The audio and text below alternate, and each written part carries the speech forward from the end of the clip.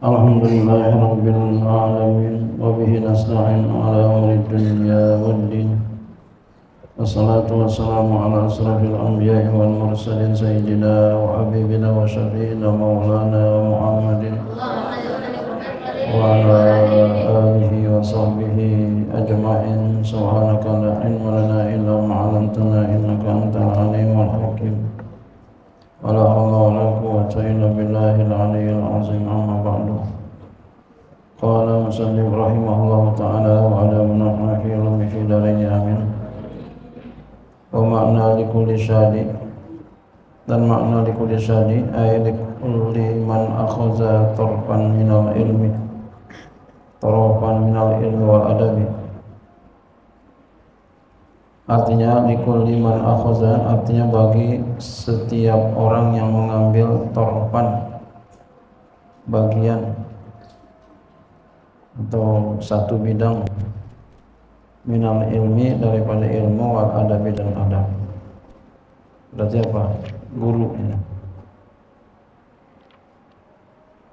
Jadi setiap guru maknanya bagi setiap guru. Jadi fahuwa likuli syadi. Maka dia ustaz guru ngaji adalah ya khairu uh, khairu abin sebaik-baik bapak. Likul syadi bagi setiap guru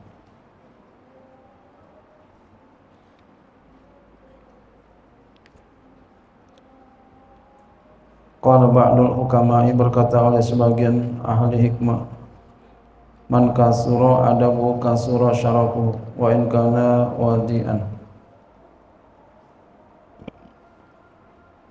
Man kasura adabuhu siapa saja yang banyak adabnya kasura syarafuhu maka banyak kemuliaannya. Jadi orang kalau banyak adabnya banyak kemuliaannya jadi kalau kita kepengen mulia adabnya ditingkatin.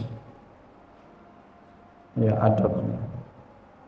Kalau pengen duduk adabnya bagaimana? Kalau pengen diri adabnya bagaimana? Dikasih Al-Quran adabnya bagaimana? Datang orang tua kita, bapak kita, emak kita, bagaimana datang? Apakah kita duduk aja atau diri? Biar tahu adab itu. Kalau datang bapak, emak, diri, diri lalu salaman, cium tangan, ya. Sama datang suami, suami datang, istri. Jangan duduk aja diri lalu salam. Ya, apalagi guru datang guru datang adabnya bagaimana? Apalagi ya. Diri salaman salim. Jadi adab-adab hidup-hidup sama tuh hidup. Hidup tuh adab. Sikap yang baik bagaimana?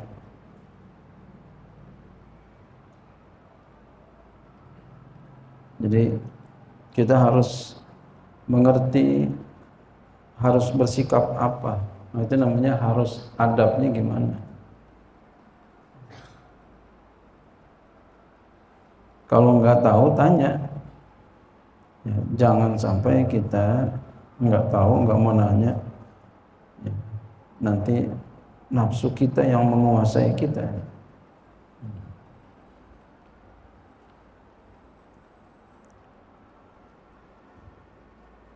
Jadi belajar adab. Makanya ulama belajar adab sampai 30 tahun, ngajinya 20 tahun. Belajar adabnya 30 tahun.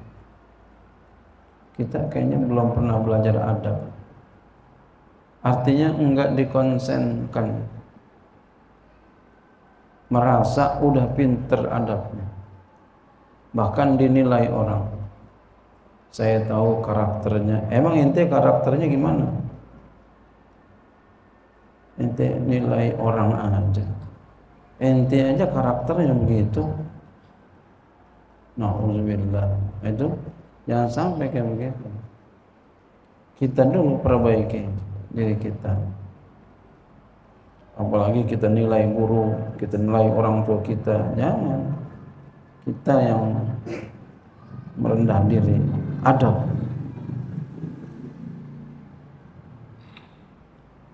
Kalau ada teman kita sudah mengakui kita orang yang dekat sama kita, nah itu bagus.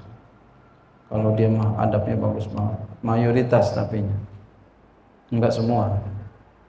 Mayoritas teman kita sudah mengakui adab kita. Insya Allah orang itu baik. Kan enggak semua, kalau enggak semua enggak mungkin. Ya, enggak ada orang yang semua nilai. Pasti ada orang yang benci sama kita. Maka oleh karenanya beradablah kita dengan sesama kita teman kita. Ada kalau kita seorang pekerja, kita adabnya bagaimana sama bos kita? Sama bos kira-kira adabnya bagaimana? Kalau anak buah. Ya. Maka anak buah itu mesti nurut sama bosnya. Bosnya bilang A ya A, bosnya bilang B ya B. Sepanjang tidak bertentangan dengan agama. Jangan bosnya bilang B, dia bilang A. Bosnya bilang A, dia bilang B. Besok nggak lama dipecat. Kenapa? Karena bukan tidak adab lagi, tidak patuh. Karena adab itu di atas taat, patuh. Kalau patuh aja enggak, bagaimana adab? Ya. Mengucapkan Sayyiduna Muhammad sallallahu alaihi wasallam adalah adab. Enggak pakai sayyiduna namanya taat. Artinya dua-duanya benar. Tapi mana tinggian adab dengan taat? Tinggian adab. Jadi jangan sampai enggak pakai sayyiduna.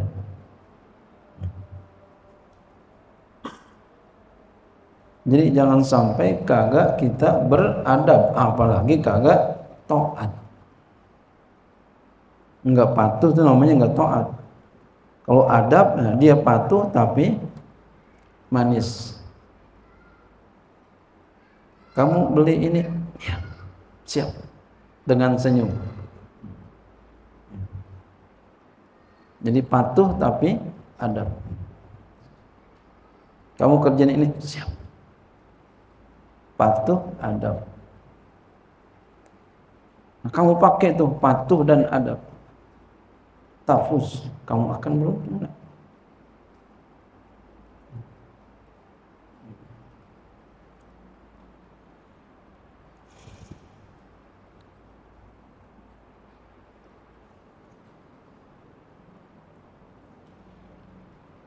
Orang yang taat lalu beradab dengan sungguh-sungguh itu tampak nak di mukanya. Di wajahnya tampak cakap dan akan kelihatan oleh orang yang bersih hatinya. Orang akan menilai di situ. Ittaqu firasatal mu'min. Tidak bisa dibohongi tidak bisa ditipu. Kelihatan wajahnya. Masya Allah. Ini orang benar-benar. Beneran.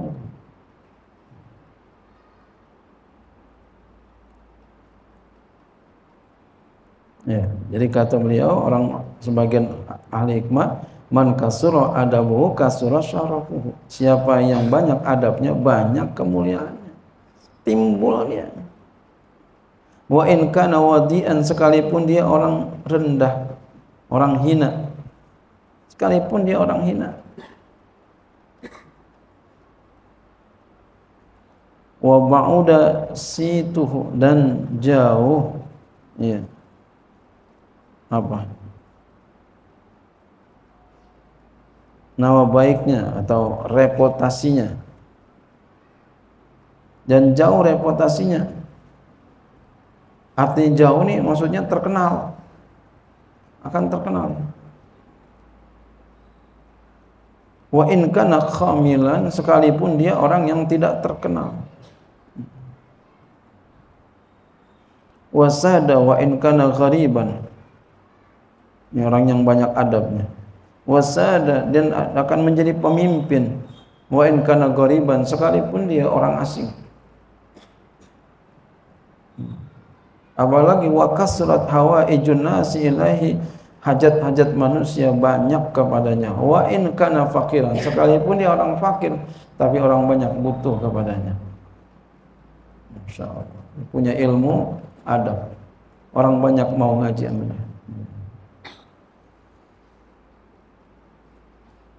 Kalau ba'du syu'ara berkata sebagian ahli syair likulli syai'in zinatun fil wara wa zinatul mar'i tamamul adabi. Likuli syai'in bagi setiap sesuatu zinatun ada perhiasan. Fil wara pada makhluk. Wa zinatul mar'i perhiasan seseorang adalah tamamul adabi sempurna adabnya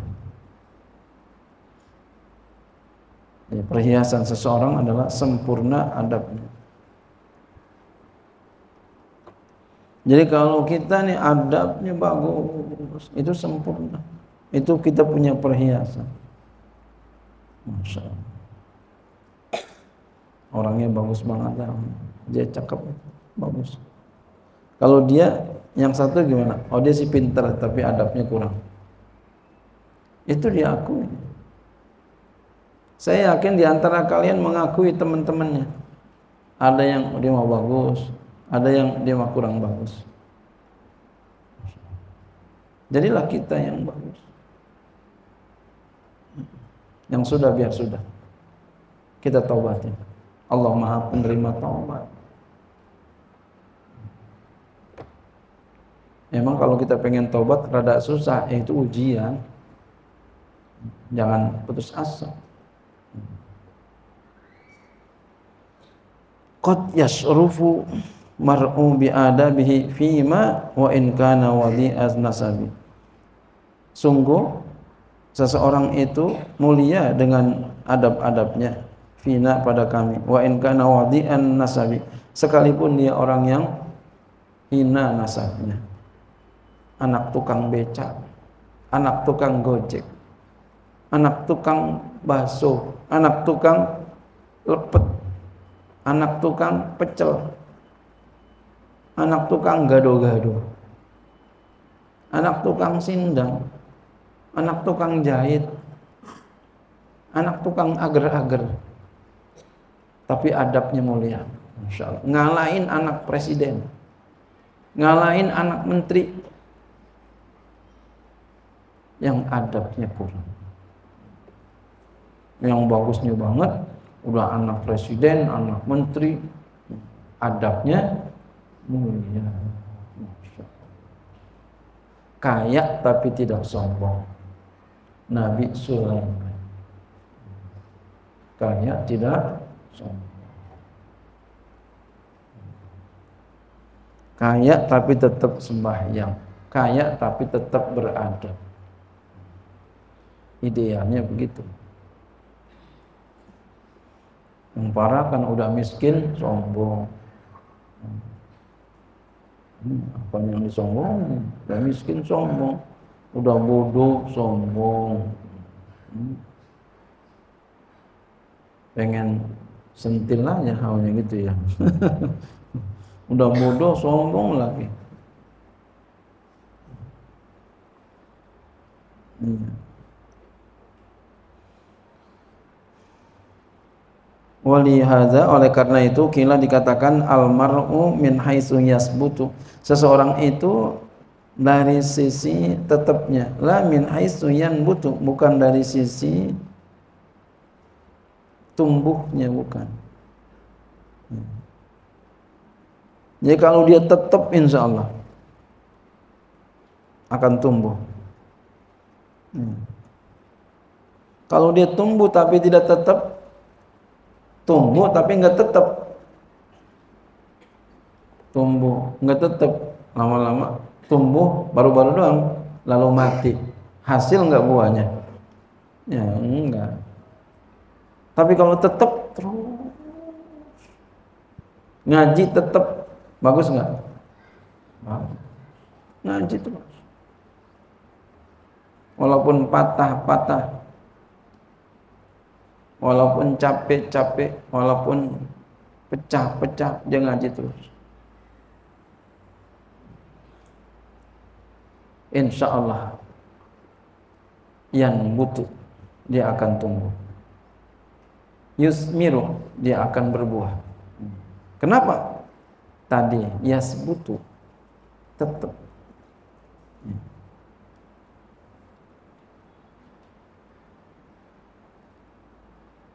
wa min haitsu yujadu la min haitsu yuladu. Dan dari sekira dari sisi didapati bukan dari sisi dilahirkan. Dari sisi didapati bukan dari sisi dilahirkan. Walaupun anaknya anak orang biasa bukan anak orang mulia tapi perbuatannya mulia jadi mulia. Walaupun anaknya anak orang bagus orang terkenal tapi perbuatannya jelek. Ya jelek. Qala syair berkata oleh syair kun ibna man syi'ta waqtasib adaban yugnika mahmuduhu anin nasabi. Kun ibna jadilah engkau seorang anak. Man syis man syi'ta orang yang kau kendaki. Waqtasib adaban dan berupayalah engkau adaban akan adab berupaya untuk memiliki adab sopan santun. Yugnika mahmuduhu anin nasabi. Niscaya mencukupkan engkau oleh yang dipuji daripada nasab. Artinya kita enggak butuh nasab Kita nggak butuh nasab. Ketika kita sudah bagus adab. Jangan pikirin nasab. Kenapa? Karena nasab akan ikut sendiri.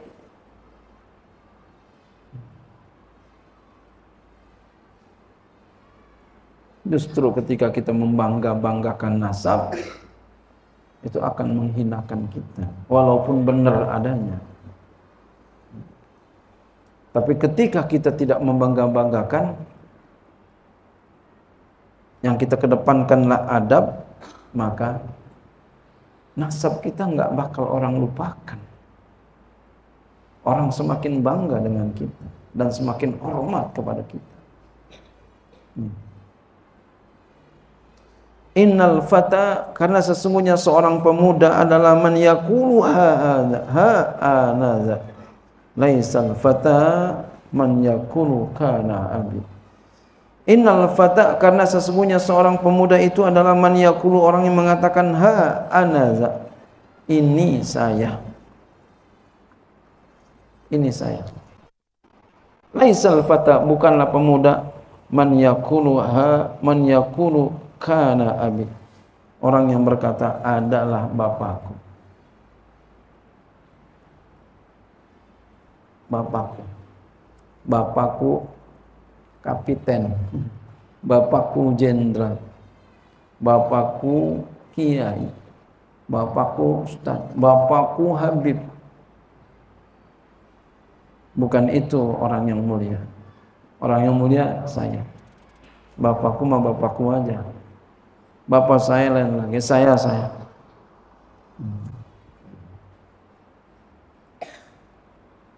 Bukan sombong maksudnya. Maksudnya apa?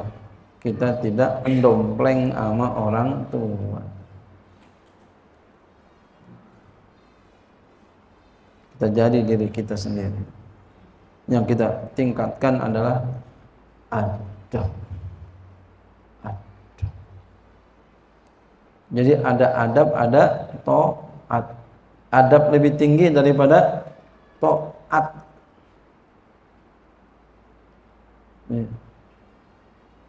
adab lebih tinggi daripada toat. Ini adab aja kagak eh, toat aja kagak bagaimana? Adab. Toat tuh nurut. Nanti kamu pergi duluan ya. Enggak saya nggak bisa pergi duluan. Doh namanya enggak toat. Bagaimana mau adab? Enggak adab. Maka orang yang enggak taat, enggak lama juga akan engkang. Yang tadinya berada di dalam menjadi di dalam kamar menjadi di dalam ruangan. Yang tadinya di dalam ruangan menjadi di depan pintu. Yang tadinya di depan pintu menjadi di lapangan sana. Terusir. Kenapa? Karena tidak ada. Bagaimana kalau tidak taat? Jadi tingkatkan ada kita. Tidak taat adab. Maka nanti ketika kita adab ya ketika kita adab ya qad yasurful mar'u bi adabihi. Sungguh seseorang itu mulia dengan adab-adabnya. Fima fina pada kami wa in kana wadi'an nasabi sekalipun dia itu orang yang rendah nasabnya hina nasabnya. Mulia. Wallahu a'lam